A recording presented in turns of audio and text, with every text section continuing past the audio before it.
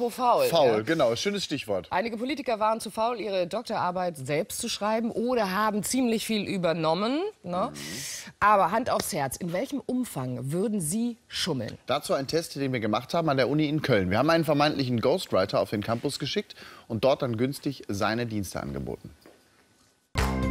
Fremde Hilfe bei Haus-, Bachelor- oder Masterarbeit gefällig?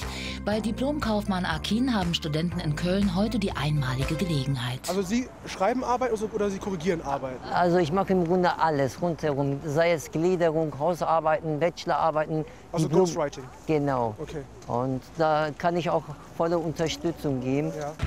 Denn Kemal Akin hat schon längst sein Diplom als Wirtschaftskaufmann in der Tasche.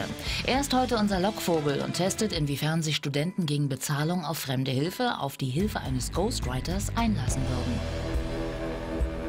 Hallo, Kemal Akin mein Name. Bist du BWL-Student? VWL-Student. VWL ist ja im Grunde fast das Gleiche. Ja. Ich habe selber auch das mal studiert. Äh, Ich bin Diplomkaufmann. Ja. Kann ich dir auch zeigen. Und ich wollte dich äh, fragen, ob ich eventuell deine Hausarbeit später schreiben könnte. Also es ist so. Hast du Äh, eine Visitenkarte? nee, das nicht, aber eine Telefonnummer. Ich habe das oft gemacht und ich kann dir vieles versprechen, dass ich da mindestens eine 2 schreibe. Okay, dann gib mir mal deine Telefonnummer. Aber sei sorgsam mit meiner Nummer. Ja. Also 0172. Alles klar. Ich freue mich. Vielleicht komme ich drauf zurück. Ja, ich freue mich, danke. Schon auf dem Weg von hier, von da drüben nach hier, merkt man dann schon so, hm, Moment, was hast du eigentlich gerade gemacht und so. Ja, zum Glück hat der nicht deine Nummer und deinen Namen nicht und so und vielleicht siehst du ihn auch nie wieder, ist ja alles gut, aber persönlich finde ich es schon interessant. Also einfach mal anzurufen und zu fragen, wie der das dann machen würde oder so. Ob ich es dann in Anspruch nehmen würde, nee, würde ich nicht. Ich hätte auch viel zu viel Schiss davor, dass der das dann einfach kopiert. Er scheint also vorsichtig zu sein, was längst nicht jeder von sich behaupten kann. Hallo. Hallo? Kemal Akim, mein Name. Studierst du BWL? Ich sehe dich gerade. Du kommst aus der Universität. Ja. Ähm, hast du Interesse, dass ich dir deine Hausarbeit schreibe für sehr wenig Geld? Wir können über den Preis auch handeln. Was heißt denn wenig Geld? Ja, also so 100er hatte ich mir schon vorgestellt. Aber wie gesagt, ich würde das am liebsten so machen. Ich gebe dir meine Nummer, ja. Und dann meldest du dich bei mir. Und anschließend reden wir über alles. Okay. Ja, ich meine, es ist halt viel Stress momentan und so schlimm ist es wohl auch nicht bei einer Hausarbeit, denke ich mal. Und ja, ich würde mich noch mal mit ihm unterhalten zumindest. Ist halt eine Hilfe, die man annehmen könnte. Aber das würde man machen? Ja, im Zweifelfall schon. Okay. Ähm, hat man denn dann keine moralischen Bedenken oder, oder ähnliches bei sowas? Zumindest bei einer Hausarbeit habe ich sie nicht direkt. Also, weil es jetzt nicht äh, entscheidend ist für das Studium oder ähm, ja, Wo wolltest du Bedenken?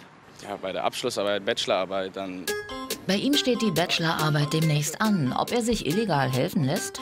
Ja, das meine ich auch. Wenn du willst, kann ich dir deine Bachelorarbeit schreiben für sehr wenig Geld. Okay. Ich habe da Routine, ich habe das schon mehrmals gemacht. Okay. Und Gib mir doch einfach mal deine Nummer. Das wäre doch am besten. das wollte ich als nächstes sagen. Ja. Also, äh, Das wäre doch perfekt. gib das äh, bitte ein. Ja. 0172. Ja. Weil mir einfach die Zeit dazu fehlt. Ich sage ganz klar, ich arbeite Vollzeit, studiere nebenbei. Die Zeit fehlt mir. Und andere machen es doch auch. Moralisch hast du keine Bedenken. Vielleicht ein bisschen, aber jetzt so ganz heftig, nee. Es, es hält sich noch in Grenzen, sage ich mal. Er mag wenig bis keine Bedenken haben, unberechtigt, denn mit gefälschten Arbeiten und Dokumenten tut man sich keinen Gefallen. Das ist Betrug, warnt Pfarrer Dietmar Heek.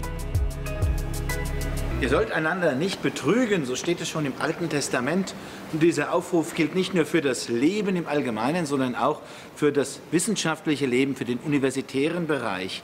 Und deshalb geht es nicht, dass man Diplomarbeiten, Seminararbeiten, Hausarbeiten einfach von anderen schreiben lässt. Es geht doch um gegenseitiges Vertrauen, das kennen wir ja aus dem normalen Leben auch. Und ich finde, das muss auch im universitären, im wissenschaftlichen Bereich gelten. Und wenn ich merke, ich komme an meine Grenzen, dann muss ich vielleicht diese Grenzen auch mal akzeptieren und das Schummeln bitte lassen. Was auffällt, Studenten, die Interesse an den Diensten eines Ghostwriters hätten, finden wir genug. Aber wie sieht's mit Studentinnen aus?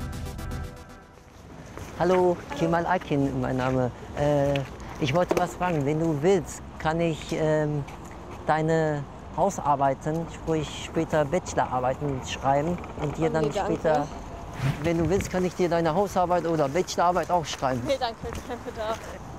Nee, nee, Äh, ich schreibe meine Arbeiten lieber selber. Aber Sicher? Danke. Ja. Ja, dann wünsche ich Ihnen noch viel Erfolg.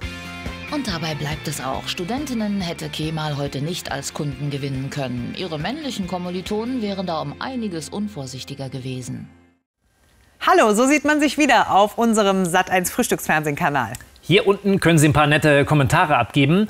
Und hier können Sie gleich das nächste Video klicken. Oder was richtig Wildes machen, den ganzen Sat1 Frühstücksfernsehkanal einfach abonnieren. Yeah! Viel Spaß, wir sehen uns.